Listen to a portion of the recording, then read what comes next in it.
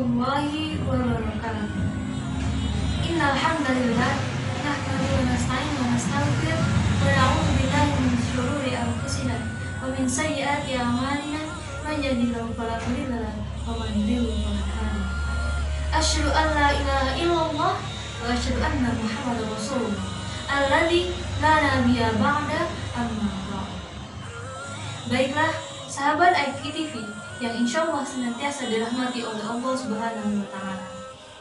Sebagaimana yang kita ketahui, bahwasanya bulan suci Ramadan adalah bulan yang penuh dengan keberkahan. Akan tetapi, ada beberapa golongan orang yang tidak memperoleh keberkahan tersebut. Ia adalah golongan orang-orang yang merugi. Nah, di sini saya akan membahas tentang siapa saja sih orang-orang yang termasuk dalam golongan tersebut. Yang pertama, dia berpuasa akan tetapi dia tidak beramal soleh. Walau kita semua tahu bahwa amalan-amalan soleh yang kita kerjakan pada bulan suci Ramadan, maka pahalanya akan dilipat gandakan oleh Allah Subhanahu wa taala. Namun, ada saja orang-orang yang menghabiskan waktu puasanya hanya dengan tidur seharian dari pagi menjelang sore hanya tidur kemudian bangun dan mandi dan bersiap-siap untuk berbuka puasa. Juga ada orang-orang yang menghabiskan waktu puasanya hanya dengan bermain games nonton drakor gonta-ganti dari film ini ke film itu. Kemudian uh, bermain sosial media dan tidak melakukan hal-hal yang bermanfaat dan membuang waktunya dengan sia-sia. Padahal bulan suci Ramadan adalah sebagai pelatihan bagi diri kita agar bisa lebih dekat dengan Allah Subhanahu wa taala. Kemudian yang kedua adalah orang yang menunggu waktu berbuka puasa akan tetapi dia tidak banyak berdoa kepada Allah pada saat itu. Padahal salah satu waktu yang mustajab untuk kita berdoa kepada Allah ia adalah detik-detik menjelang waktu berbuka puasa berdoa agar kiranya dikuatkan iman kita Allahumma sabit qalbi ala dinik kemudian berdoa agar dibukakan pintu rezeki kita. Berdoa untuk diri kita sendiri untuk keluarga bahkan umat. Berdoa berdoa dan terus berdoa. Eh, kemudian berdoa eh, agar wabah COVID-19 ini segera terhapuskan dari dunia. Amin amin Allahumma amin. Maka marilah kita sama-sama banyak-banyak berdoa untuk keselamatan bumi kita yang tercinta. Kemudian yang ketiga adalah orang yang bangun sahur akan tetapi dia tidak melakukan amalan sholat sunnah minimal dua rakaat. Contoh eh, sholat sunnah tahajud, sholat taubat dan lain sebagainya. Dan pada saat ini maka hendaklah kita hmm, banyak-banyak berdoa juga. Kenapa? Karena pada saat itu juga termasuk salah satu waktu yang mustajab untuk kita berdoa. Kemudian yang ke yang keempat, memiliki rezeki berlebih akan tetapi dia tidak bersedekah. Padahal salah satu pahala terbesar adalah bersedekah. Misalnya eh, kita memberikan eh, makan kepada orang yang berpuasa walaupun hanya sebiji kurma dalam sebuah hadis dikatakan man fatara iman kana lahu mislu ajri berannahu la yanqusu min ajri ini syai'an man fatara iman barang siapa yang memberi makan orang yang berpuasa kana lahu mislu ajri maka baginya pahala seperti orang yang berpuasa tadi. Berannahu la yanqusu min ajri ini syai'an tanpa mengurangi pahala orang yang berpuasa tadi. Kemudian yang kelima adalah orang yang memiliki waktu luang akan tetapi tidak menyempatkan dirinya untuk membaca Al-Quran mentadaburinya semasa bulan Ramadan.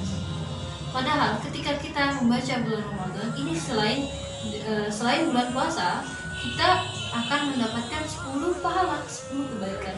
Dalam hadis dikatakan, "Man qara'a harfan min kitabillahi falahu asyru hasanati falam akul uh, alif lam mim harfun walakin walakinna alif harfun wa lamun harfun wa mim harfun wa likulli harfin bi asyri hasanati Man qara'a harfan, barang siapa yang membaca satu huruf di kitabillahi dari kitab Allah dari Al-Qur'an, falahu asyru hasanatin, maka baginya 10 kebaikan. Falam akul uh, alif lam harfun dan tidak saya katakan bahwa alif lam itu satu huruf, walakinna akan tetapi uh, alif harfun. Alif itu satu huruf, kemudian lamun harfun. Lam itu satu huruf, wamimun harfun. Dan mim itu satu huruf. Walikuli harfin dan di setiap huruf-huruf tadi di asri hasanatin. Ada 10 kebaikan. Itu di hari selain bulan suci Ramadan. Bagaimana dengan uh, bulan suci Ramadan? Dikata uh, Allah apa kata Allah? Wal hasanatu di asri hasanatin wal hasanatu di asri amsalihah.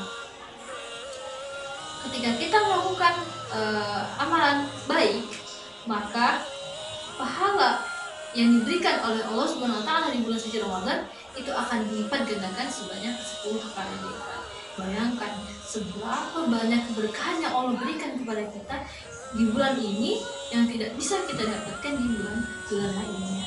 Kemudian yang keenam, hmm, kita tahu bahwasanya Bulan suci Ramadan adalah bulan Maghfirah, bulan yang penuh dengan ampunan. Coba kita koreksi diri kita masing-masing.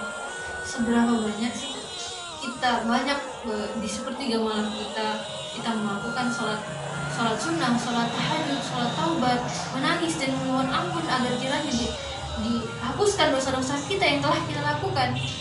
Sebagaimana dalam hadis, "Falamma marokib darajat al-ula" arada alayya Jibril alaihi salam.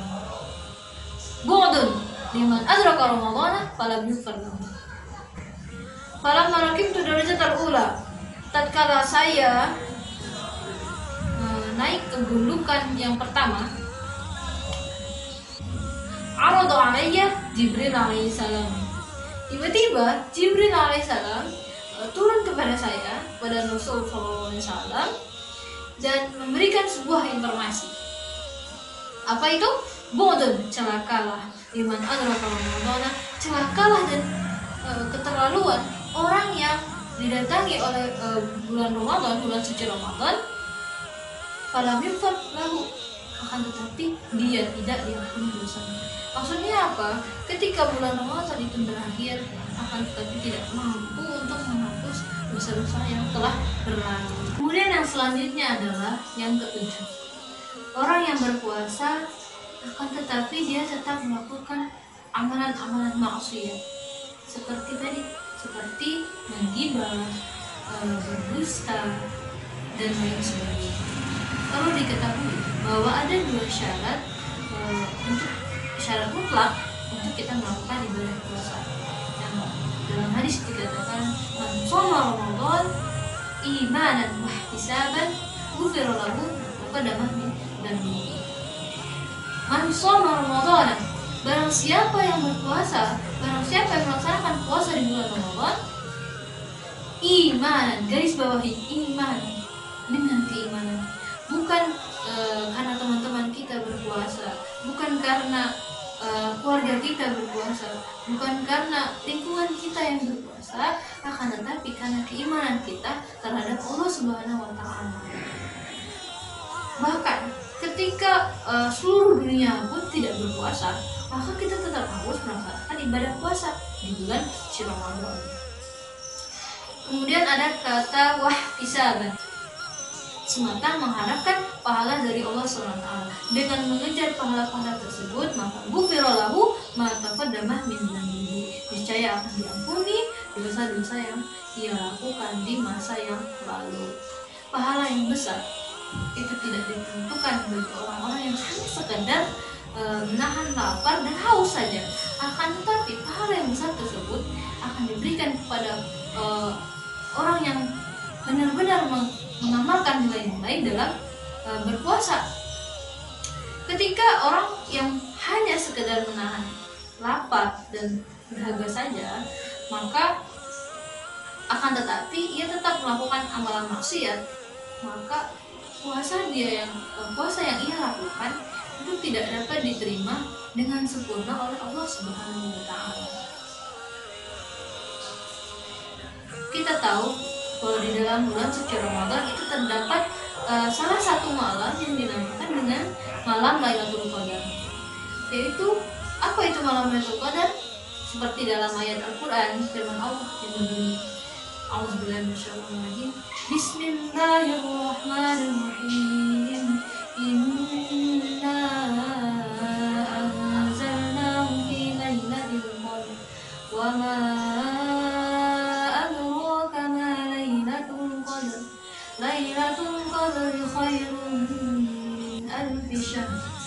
Jadi apa itu malam Lailatul Qadar? Yaitu malam yang diturunkannya Al-Quran yang dinamakan dengan uh, yaitu malam yang lebih baik daripada seribu bulan.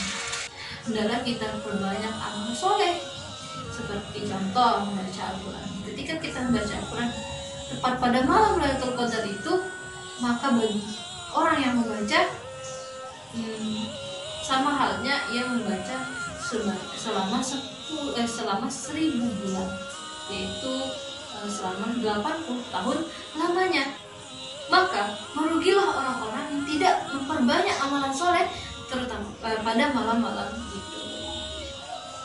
Oke, sahabat Aiki TV, rahimahullah. Dan itulah tadi beberapa orang-orang yang termasuk e, merugi ketika menghadapi bulan suci Ramadan. Semoga kita tidak termasuk dalam golongan-golongan dan semoga e, diampunkan dosa-dosa kita semua oleh Allah Subhanahu wa taala dan Semoga kita dapat bertemu dengan malam Lailatul Qadar. Sekian dari saya. Apabila terdapat kesalahan kata, saya mohon maaf. Pada Allah saya mohon ampun. Wabillahi taufiq wal hidayah. Wassalamualaikum warahmatullahi wabarakatuh.